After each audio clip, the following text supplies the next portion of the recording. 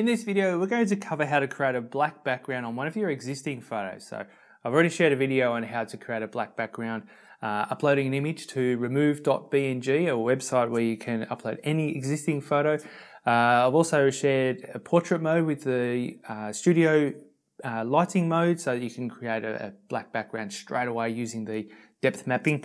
This one here is a way that you can edit the photo that you have already and um, it gives you a bit more creative control using Snapseed and the Curves tool. So let's get into it. I'm Mike James. More importantly, you're a photo enthusiast and this is the sort of thing that allows you to be a bit more creative with your photos and have, have more fun playing around with them. So let's get into it. Tools and let's go curves and okay, what we got out here, if I just tap there to get rid of those presets down the bottom, you've got two anchor points. The top right one is your, is your um, uh, white point and the bottom left is your black point. So what we want to do is we want to reduce all the whites until they're black. And there you go. We've pretty much straight away made the whole image black. Press on the tick. Now up in the top, press on the tiles, history, layers, whatever you want to call it, stacks. Then you go view edits, tap on the curves, and in the middle you got the paintbrush. So now we get to paint in exactly where we want to have that black. So we just go and paint roughly around our foreground object. Okay, and you pinch and zoom with two fingers, we can get in a bit closer.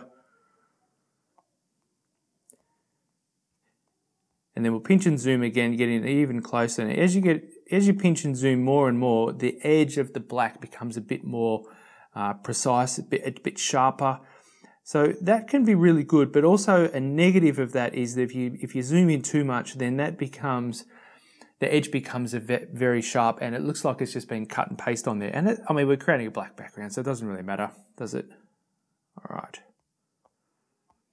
But with this edge, because it's a green edge, it kind of, if there's any green there, then it will really stand out. Now I'm just going to do a quick job here.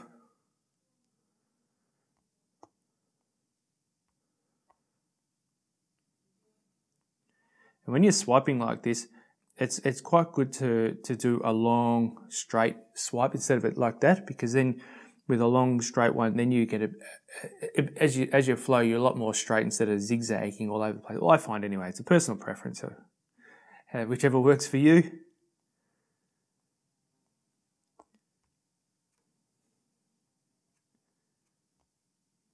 Okay there's the beak all right so zoom back out and let's have a look at that so there we go.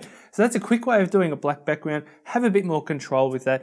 If um, if you want to soften those edges up a little bit more, we can go down to 25% with the arrows down the bottom there. And they're not painting over the black areas, but on the actual foreground itself, you can you can swipe in. And we're adding 25% of black. So instead of having no black on top of the bird, we're adding 25% just to make a little bit of a transition there. And if you go over the edge like I did there, just go back to 100% and go back over the edge again. So we go 25%.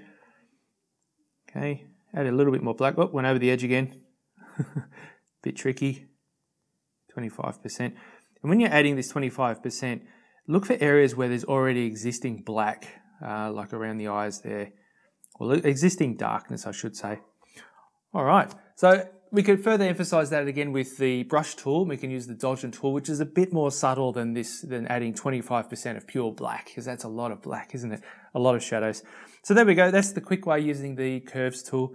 And uh, don't forget to check out those other two videos using remove.bg and the uh, studio lighting of the uh, portrait mode on the iPhone.